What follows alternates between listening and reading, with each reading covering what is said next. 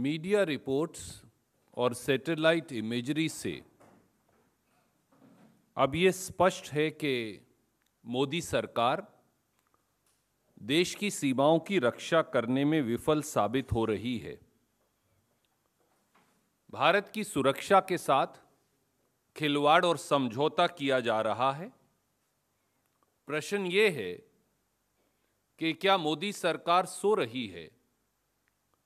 जब चीन डोकलाम प्लेटू पर कब्जा किए है, जो उत्तर पूर्व के सब राज्यों और देश की सुरक्षा के लिए गंभीर चिंता का विषय है, ऐसे में क्या प्रधानमंत्री जी और विदेश मंत्री जी ने अपने भिन्न भिन्न बयानों से देश को गुमराह किया है?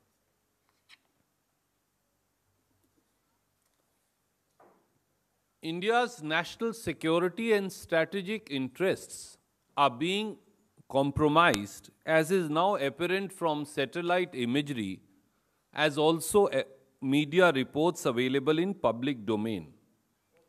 It is most unfortunate that Modi government has been caught snoozing while the Chinese have occupied the Doklam Plateau as per news reports and satellite imagery and are planning a repeat of Doklam 2.0 type of face-off. Prime Minister Shri Narendra Modi ji, who has mastered the art of electoral rhetoric, has miserably failed to ensure full protection of our borders. भारतीय राष्ट्रीय कांग्रेस का सदैव ये मानना रहा है कि डोकलाम के मुद्दे पर भिन्न भिन्न राजनीतिक राय नहीं हो सकती। राष्ट्रीय सुरक्षा और देश की सीमाओं की सुरक्षा और देश के सामरिक हितों की सुरक्षा केवल एकमात्र यही राय सभी राजनीतिक दलों, समूहों और व्यक्तियों की हो सकती है। पर जिस प्रकार से सैटेलाइट इमेजरी अब उपलब्ध है और जिस प्रकार से मीडिया रिपोर्ट्स आ रही हैं, उनसे ये साफ़ है कि चीन ने डोकलाम प्लेट्यू के एक बड़े हिस्से पर दोबारा अपनी सेनाओं सहित परमानेंट कब्जा कर लिया है। ऐसे में प्रश्न ये उठता है कि भारत सरकार क्या कर रही है? चार या पाँच महत्वपूर्ण बातें हैं जो देश के समक्ष भारतीय राष्ट्रीय कांग्रेस की ओर से हम रखना चाहेंगे। सैटेलाइट इमेजरी और मीडिया रिपोर्ट सब ये दिखाती है कि किस प्रकार से चीन ने भारत की सीमा के साथ आकर डोकलाम प्लेट्यू पर कब्जा किया है। ये एक सैटेलाइट इमेजरी है जो आ, हमने ली है जिसकी प्रतिलिपि मैं आपको दे रहा हूँ। जिसके अंदर आप ये पाएँगे कि ये ये भारत है और इस प्रकार से चीन ने आकर ये सब जो कब्जा है, वो यहाँ नज़र आ रहा है प्रथम दृष्टि से। केवल इतना ही नहीं। अगर आप इसको आगे देखें तो ये पाएँगे कि चीन द्वारा डोकलाम प्लेट्यू में सात हेलीपैड बना लिए गए हैं, कंक्रीट पोस्ट बना ली गई हैं। नई ट्रेंचेस बना ली गई हैं फौज के लिए। कई आर्मर्ड व्हीकल कई दर्जन आर्मर्ड व्हीकल जो फौज इस्तेमाल करती है, चीन की फौज के वो वहाँ मौजूद हैं। एक मैकेनाइज रेजिमेंट चीन की वहाँ मौजूद है और ऐसा आभास है कि दूसरी मैकेनाइज रेजिमेंट भी टेंट्स के नीचे मौजूद हो सकती है। दो मेजर पार्किंग एरिया बनाए गए हैं। सड़क बनाने के लिए टिपर और दूसरी मशीनरी सब उपलब्ध है।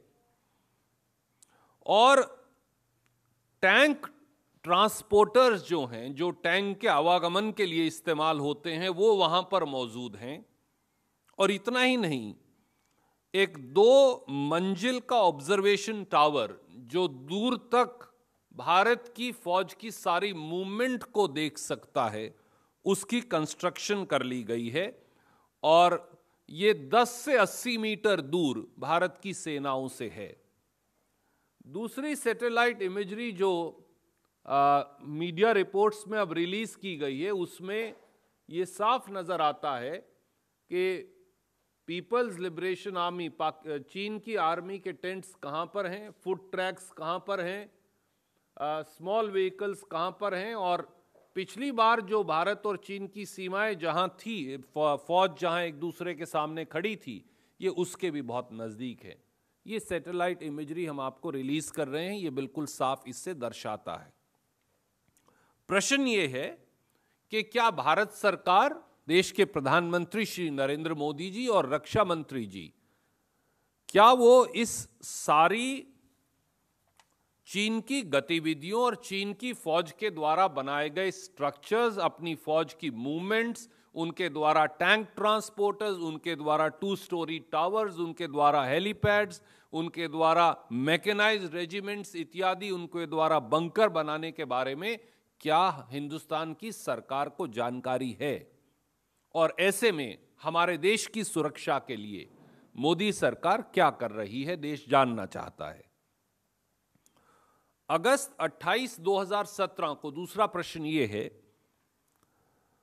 विदेश मंत्रालय ने एक बयान जारी कर कर ये कहा था कि डोकलाम 1.0 विवाद के बाद हिंदुस्तान और चीन दोनों की जो फौज हैं वो एक्सपीडिशियस डिसएंगेजमेंट कर रही हैं।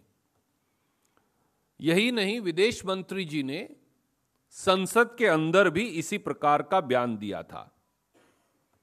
जब हमने ये कहा कि वो क्या समझौता या मसौदा है उसकी डिटेल्स बताइए तो विदेश मंत्री जी ने कहा कि मैं देश को आश्वस्त करना चाहती हूँ कि दोनों फौज अपने अपने स्थान पर वापस चली जाएँगी। कोई कारण नहीं था विदेश मंत्री जी के बयान पर विश्वास ना करने का।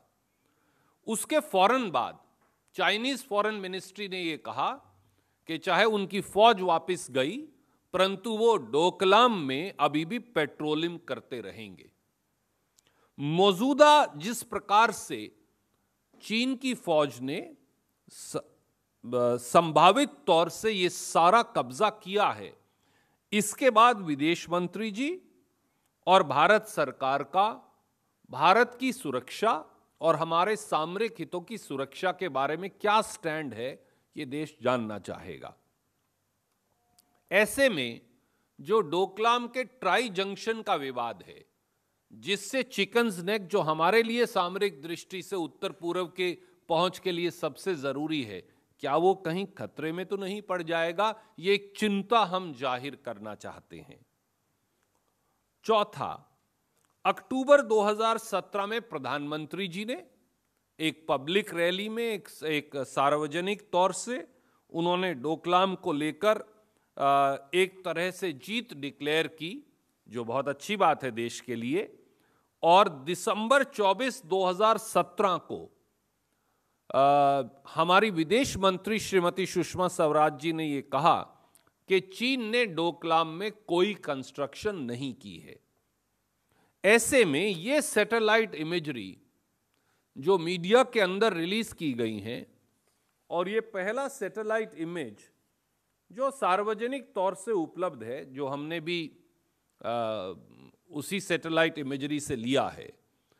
क्या ये नहीं दर्शाते कि चीन की फौज इस प्रकार से यहाँ भूटान है यहाँ भूटान है यहाँ हिंदुस्तान है चीन की फौज इस तरह से बिल्कुल हमारी सीमा के पास तक आकर क्या उन्होंने कब्जा कर लिया है? क्या ये सैटेलाइट इमेजरी सही है? और अगर ये सही है तो क्या प्रधानमंत्री जी और विदेश मंत्री जी का आश्वासन गलत था? इस बारे में अब वो क्या कदम उठाने वाले हैं? आखिर में यह भी सही है कि प्रधानमंत्री जी ने 2014 के संसदीय चुनाव से पहले कई बार तत्कालीन कांग्रेस सरकार को यह कहा कि अगर वो प्रधानमंत्री होते तो लाल आँख दिखाकर चीन से बात करते। सच्चाई यह भी है कि इस वर्ष चीन के सैनिकों द्वारा भारत की लाइन ऑफ़ कंट्रोल का उल्लंघन 48 प्रतिशत अधिक बढ़ गया। 2017 में 415 बार चीन की फौज और चीन के सैनिकों ने हमारी सीमाओं का उल्लंघन किया, जो 2016 में 271 बार था। ऐसे में इस सारी बात को रोकने के लिए मोदी सरकार और भारत सरकार क्या करने वाली है? और इन सब के बैकग्राउंड में जिस प्रकार से चीन ने अरुणाचल प्रदेश में, जो भारत का अभिन्न अंग है, वहाँ 1.3 किलोमीटर रोड बनाने की एक जबरन कोशिश की, जिसे बाद में हमारी बहादुर सेना ने रोक दिया। इस सारे इस सारे माहौल के बारे में जो पैदा हो रहा है, प्रधानमंत्री जी का पक्ष क्या है? कांग्रेस पार्टी का हमेशा यह मानना रहा है कि डोकलाम विवाद और चीन के साथ जो हमारे अन्य सीमा के विवाद हैं, वो हमारे सामरिक हितों की सुरक्षा के पक्ष में बातचीत से और डिप्लोमेसी से उन्हें सुलझाया जाना चाहिए। अब निर्णय मोदी जी को करना है कि इन सारी बातों के चलते जब एक महत्वपूर्ण राष्ट्रीय सुरक्षा का मुद्दा सामने आया है और डोकलाम में चीन के, की फौज इस प्रकार से मौजूद है तो देश को वो बताएँ कि मौजूदा सरकार राष्ट्रीय सुरक्षा की और हमारी सीमाओं की सुरक्षा के लिए क्या कदम उठाने वाली है? कांग्रेस पार्टी की ओर से हम गहन चिंता ज़ाहिर करते हुए सरकार से जवाब मांगे।